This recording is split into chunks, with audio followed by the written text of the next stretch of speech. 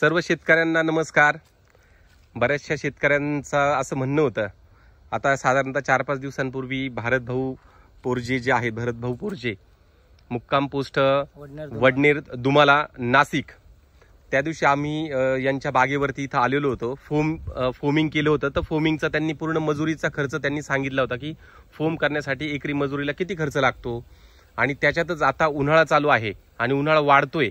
तर फोम केल्यानंतरही वरती हे बघा हा पेपर जो आहे यांनी लावलेला आहे ह्या बागेला जो पेपर लावलेला आहे पेपर म्हणजे याला का आपण काय म्हणायचं? कपडा. कपडा जो आहे पांढरा कपडा. सफेद कपडा जो लावलेला आहे याच्याबद्दल आता भरत भाऊंनी जे काय आता एवढं भारी छान लावलेलं आहे तर भरत भाऊ आमच्या शेतकऱ्यांना मार्गदर्शन करण्यासाठी भरत भाऊंनी पुन्हा एकदा आम्ही फोन केल्यानंतर शब्द दिला आणि ते आता आपल्याला सगळी माहिती सांगतील.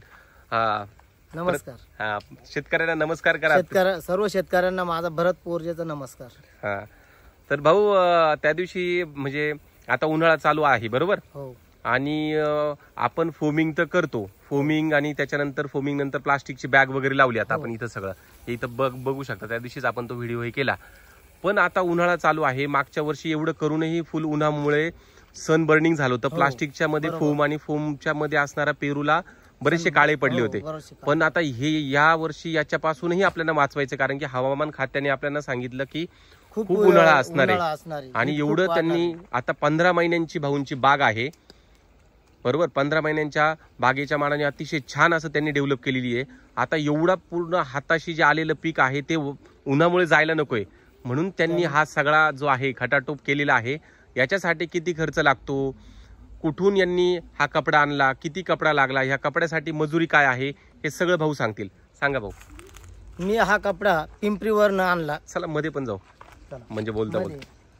हे बघा हा कपडा पूर्ण बघा. आता हे पूर्ण बाग असं पूर्णच्या पूर्ण कव्हर झालाय आणि याच्यामध्ये असणारा हा बाग. हा. सांगा भाऊ. पिंपरी. मी हा कपडा पिंपरीवरून आणलाय. तो पिंपरी म्हणजे आपलं नाशिक. आडगाव पिंपरी. हा आडगाव म्हणजे नाशिक. नाशिक मध्येच नाशिकमध्ये असणारा आडगाव जे आहे आडगावच्या बाजूलाच पिंपरी आहे. पिंपरी आहे. तिथून हा. आणला. हो तिथून हा दीडशे किलो कपडा आणलाय. साधारण दीडशे रुपये किलो भावाने आणला. म्हणजे एक किलो मध्ये तो साधारण तीस फूट कपडा बसतो.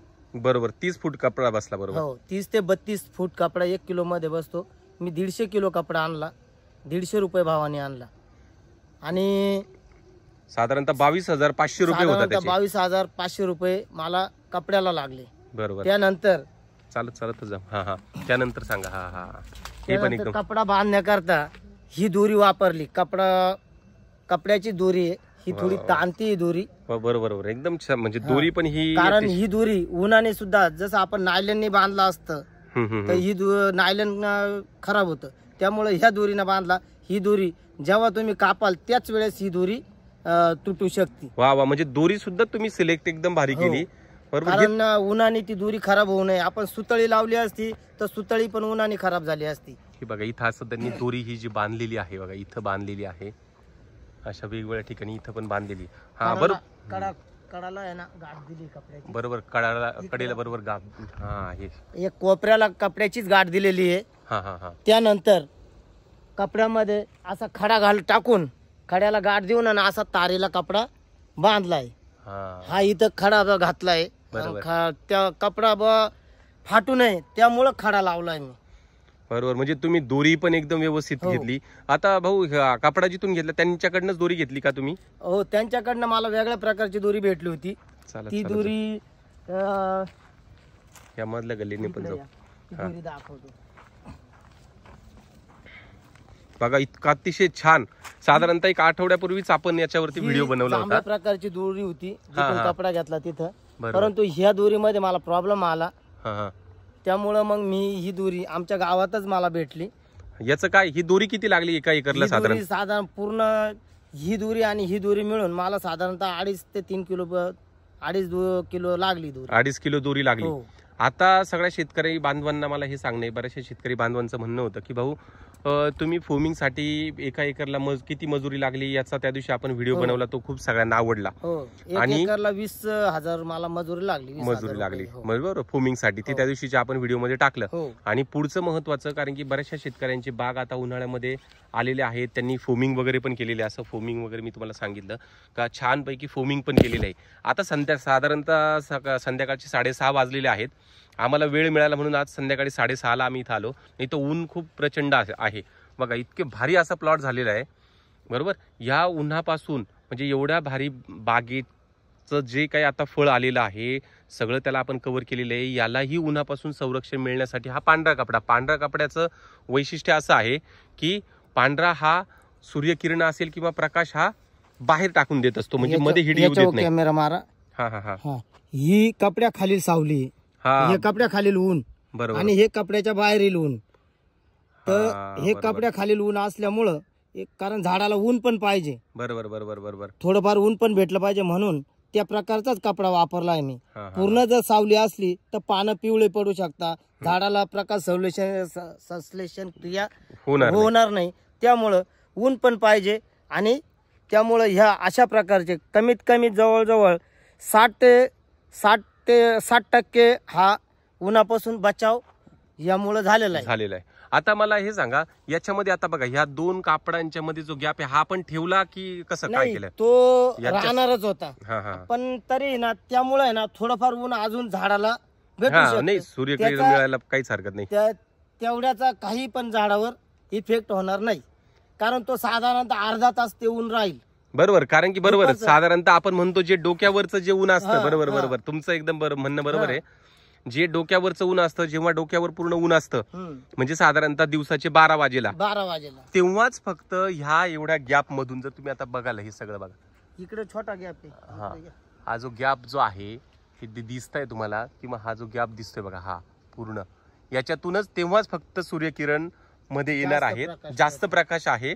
म्हणजे तो कमी वेळेसाठी आहे. वा वा. म्हणजे याच्यातही आपली फक्त अर्धा अर्धा तास ते ऊन राहू शकतं.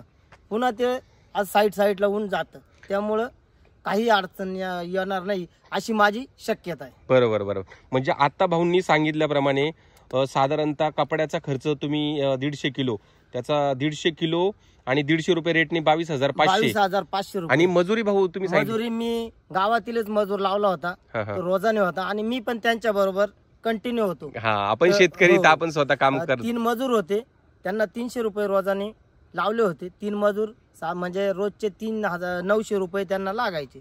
असं तीन दिवस मी हा कपडा कम्प्लिटली पॅक केला. बरोबर. म्हणजे साधारणतः तीन मला हजार सा- रुपये साधारणतः तीन हजार रुपये मजुरी मजुरी. तीन हजार रुपये मजुरी बावीस हजार पाचशे रुपये हे कपड्याचे. त्याच्यानंतर अ, जी तुम्हाला दोरी लागली ती साधारणतः पाचशे पाचशे रुपयाची. रुपयाची. म्हणजे एकरी भाऊंना जो खर्च आलेला आहे तो सव्वीस हजार रुपये हो. हा खर्च आलेला आहे. आणि साधारणतः तुम्हाला मी सांगितलं दोन ते तीन तीन दिवसापूर्वीच हे त्यांनी काम केलेलं आहे. कारण की याच्या अगोदरचा व्हिडिओ आपण फोमिंग केल्यानंतरचा घेतला होता. या साईडला बघा हे माझा हा आमचं जे भारत भाऊ आमचं आणि आमच्याच बरोबर आम्हाला गायडन्स देणारे समाधान भाऊ पोरजे या सगळ्यांचा आमचा असा हेतू असतो जे आम्ही करतो ते आम्ही टाकत असतो जेणेकरून बऱ्याचशा शेतकऱ्यांना बऱ्याचशा गोष्टी ह्या माहीत नसतात. आणि माझं म्हणणंच ते शेतकऱ्यांनी एकमेकांना सहाय्य केलं तरच आपण पुढे जाऊ हो शकतो. आणि त्याच्यात सहाय्य केलंच पाहिजे. मला काही प्रॉब्लेम आला हा मी तुम्हाला विचारलं पाहिजे.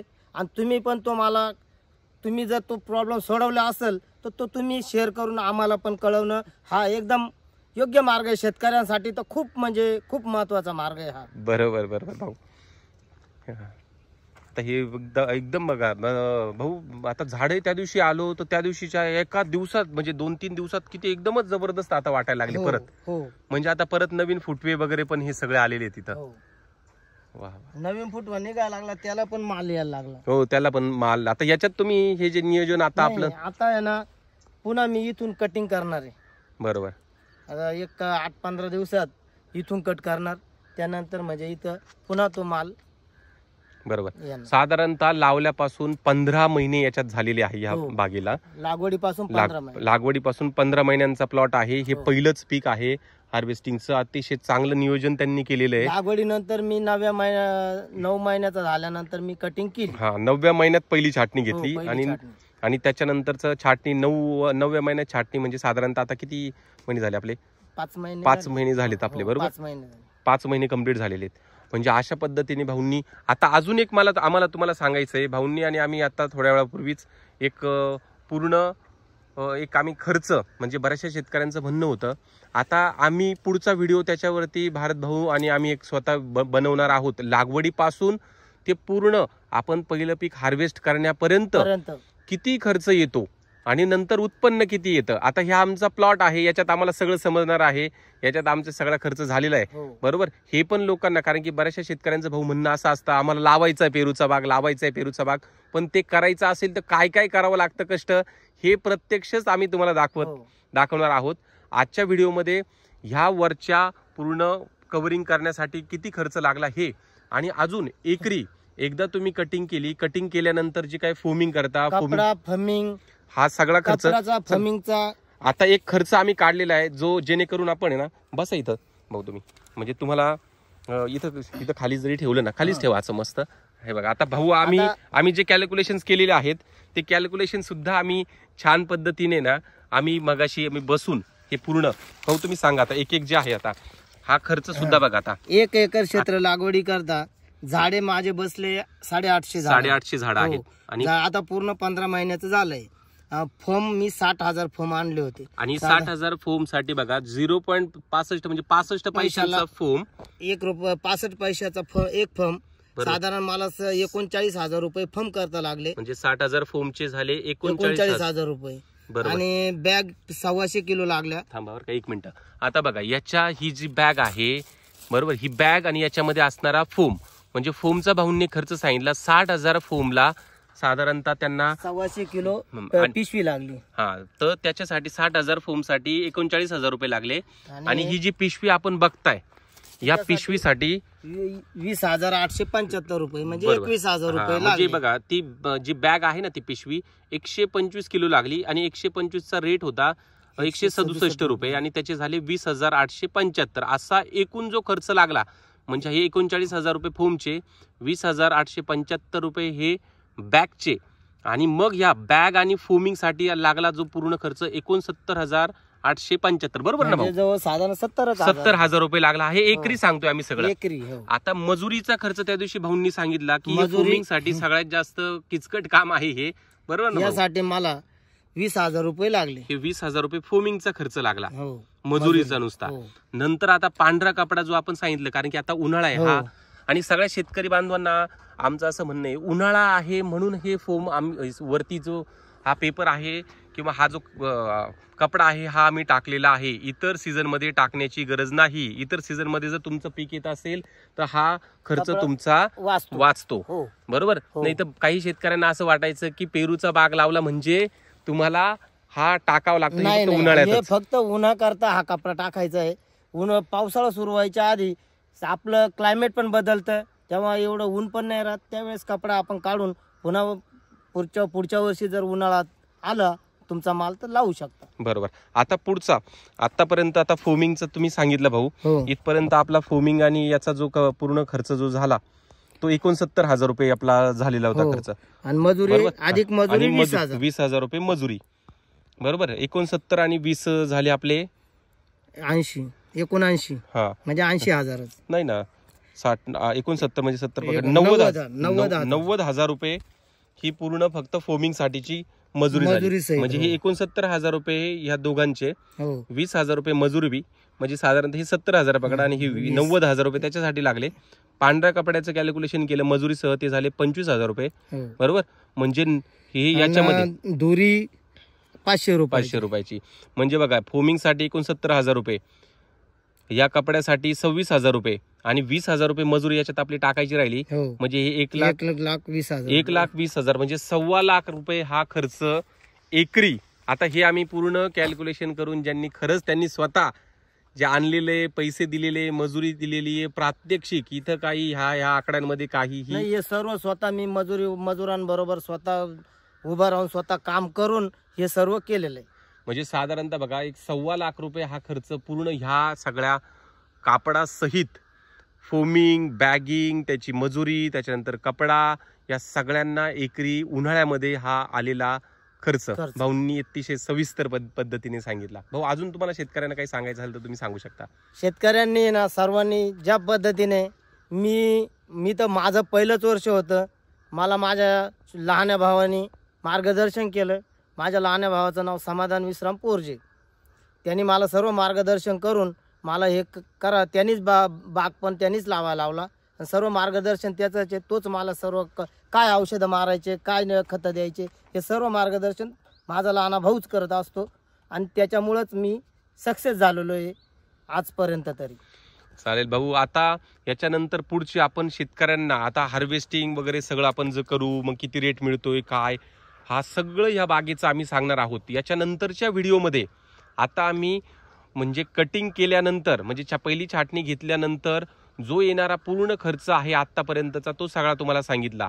याच्यानंतरच्या व्हिडिओमध्ये एकदा निवांत आलं की भाऊ आणि आम्ही बसून तुम्हाला खरंच एखाद्या काही शेतकऱ्यांना जर लावायचा असेल बाग तर लावणीपासून ते आतापर्यंतचं आम्ही परत तुम्हाला कॅल्क्युलेशन सांगू हो. किती असणार आहे. भाऊ खरंच तुमचं मनापासून धन्यवाद. तुम्ही अतिशय चांगलं अशी माहिती शेतकऱ्यांना दिली अतिशय बहुमूल अशी माहिती दिली. फक्त आता एक तुमचा मोबाईल नंबर फक्त सांगा. जर एखाद्या शेतकऱ्याला वाटलं तर नक्कीच. भाऊ. मदत करतील. माझं नाव भरत विश्राम पोरजे. रा मुक्काम पोस्ट वडनेर दुमाला तालुका जिल्हा नाशिक. माझा मोबाईल नंबर अठ्ठ्याण्णव एक्क्याऐंशी चौऱ्याण्णव त्रेपन्न सत्तर. ओके नमस्कार. आणि चॅनलला सबस्क्राईब करा हो आम- आमच्या चॅनलला सर्वांनी सबस्क्राईब करा. धन्यवाद धन्यवाद. आणि हे आमचं सगळं जे आमचं नियोजन आहे हे खरं नियोजन आहे हे तुमच्यापर्यंत आम्ही पोहोचवलं. तसं जे नवीन शेतकरी आहे त्यांच्यापर्यंत तुम्ही पोहोचवा. धन्यवाद सगळ्यांचे. पुन्हा भेटूया नवीन व्हिडिओमध्ये ज्याच्यामध्ये आम्ही लागवडीपासून ते छाटणीपर्यंतचा किती खर्च लागतो ते मी तुम्हाला सांगेल. आता छाटणीपासून ते आत्तापर्यंतचा खर्च आम्ही सांगितला. धन्यवाद सर्वांचे.